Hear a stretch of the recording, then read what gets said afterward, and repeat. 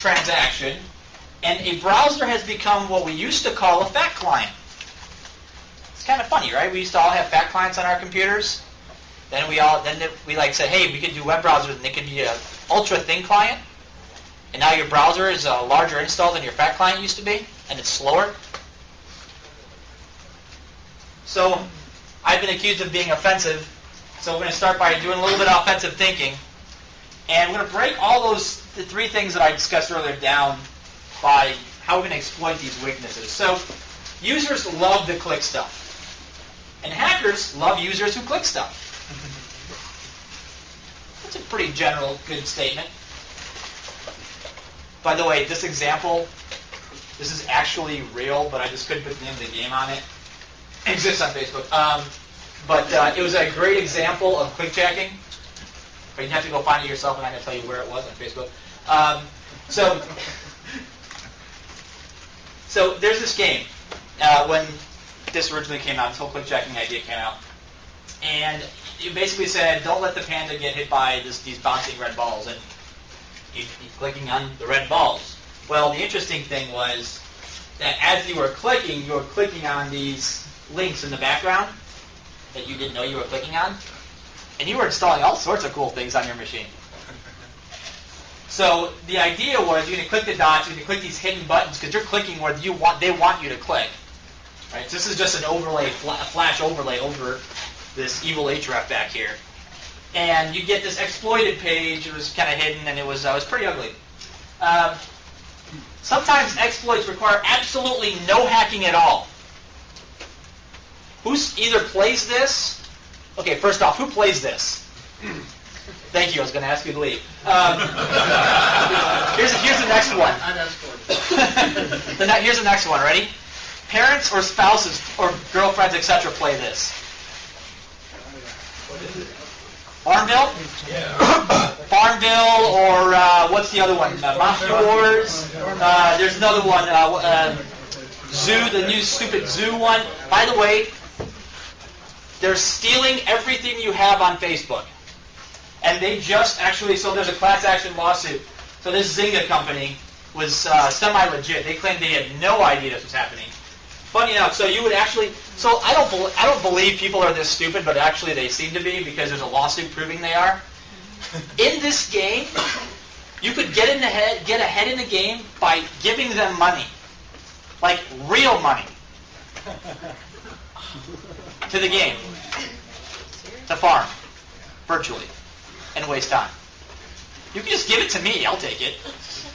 You don't even have to do anything. Just give me money. So they ended up, uh, this is on behalf of users who lost money as a result of ex- uh, accepting misleading or fraudulent ad offers, right?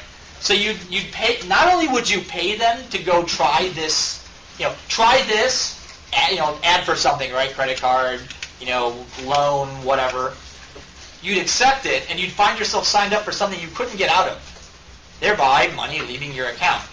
And there were people that just ignored that. So let's talk about rich content. The line between code and data, I think, has become just ridiculously blurred. You guys agree with me? I mean, we could use up until about a couple years ago, maybe two years ago, we could actually tell the difference between what is code and what is data, right? Usually. Now code is data. Which is a bad thing because now we can't figure out how to protect it from itself. Um, so MySpace was the ultimate worst example of this, and I love using MySpace because just nobody legitimate ever uses MySpace. Um, you could customize home these home profile pages by adding user supplied. It used to be HTML, then you realized that was a bad idea, and they took out HTML and JavaScript, and you could just put in CSS. Right? What's the worst that could happen? And I always ask the question, why was that even a good idea? Because you could put stuff like this, right? You could put your own background in with a, a background URL link to some external nasty JavaScript that would, of course, you know, break same origin, but same origin's been dead since Elvis and you could just hack people as they visited your page, right? There's actually no skill involved in this. What's worse is We found people on sites like this, and I admit that this doesn't transfer well into a, whatever resolution we're in, but there's a site called pimp-my-profile.com, pimp my profile. Sounds legitimate enough, right? Which is littered with ready-to-paste crap, and I have crap italicized because it's all there is. There's actually profiles that, or er, profile pimps. I didn't. I can't make this stuff up. It's too. It's too funny to be made up. That you could. That users could upload to the site, and people would simply select all, paste into their profile. How many of them do you think could read CSS and know and any clue as to what they were pasting? As long as the pretty little snowflakes fell on their profile page, they were pretty happy, right? By the way, I love this. I, I, I clicked this. I went to this page on my uh, little sandbox machine, and I had to add this. Don't you just want to install the Be Social toolbar? I mean, doesn't this just say download now? Install this browser plugin. It'll make IE faster. uh, so rich content. There's literally tens of thousands of social media add-ons out there. There's lots of them. Do you suppose any one of them just maybe evil? Or how about all of them? Should sites differentiate between data and code? That's actually a very interesting question. And the question becomes, how? But data should be static information, and code should be script or program modifications. Should be. Until you run a site like Facebook and you realize that data actually is stuff that modifies the site, a la plugins. We'll talk about that in a little bit. Functionality is the arch enemy of security. If you disagree with me, okay, good. Every time you add a new function, you break something. All right. Anybody ever heard of Mike Bailey? Okay. Mike is the arch enemy of Flash. I'm pretty sure Adobe has a hit out on him. Um, because of things like this, this is actually from uh, 22nd. Mike IMs me and, uh, on my phone and says, uh, I can own Facebook again. And I went, great, what did you do this time? Well, interesting abuse of Flash objects, shocking.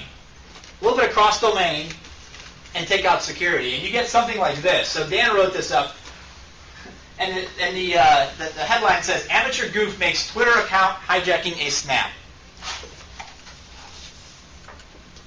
Go read the, the details of this, but basically it deals with tricking, uh, basically downloading one of um, one of Twitter's Swift files, repurposing it, basically hosting it on your own machine, building it across domain. Okay, everybody know what a cross domain.xml file is? Okay, in, those of you that don't, in Flash, if you have a Flash object, you have hopefully a cross domain.xml file that says anytime that Flash object requests something from a different page, different site, that file is supposed to tell it, here's where you're allowed to fetch other objects from. By default, anybody want to guess what it is? Star. Which is a wildcard for? Everything. Everything. Isn't that awesome? I mean, why do you want to make restricted? You don't want to restrict programmers, right? Let them be creative. The juices. Stupidity. Anyway. So, this was really bad, though. So what ended up happening was you grab the Swift file, you put a very permissive cross-domain.xml file all on your machine. This Swift file would then go fetch credentials. See, by the way, the nice thing about this Swift file, if you downloaded it, uh, it semi-authenticated to the service at Facebook that would retrieve people's profiles. Anybody know where this is going yet? You don't actually have to log into Facebook to retrieve everything about everybody's profile. You just have to know their profile ID and have this. And just cycle. That's pretty evil, guessing you could probably use that for something. Data mining. Anybody ever do this? This is my favorite thing to demo. Uh, in fact, back in back home in Chicago, we had a they do a thing called ChicagoCon, and last fall we did a workshop. It was like four hours. All we did was something just like this. We Googled file type SWF for Swift Swift, uh, Swift file, in URL XML. We checked to see if there was a cross-domain file. Usually they look like this, right?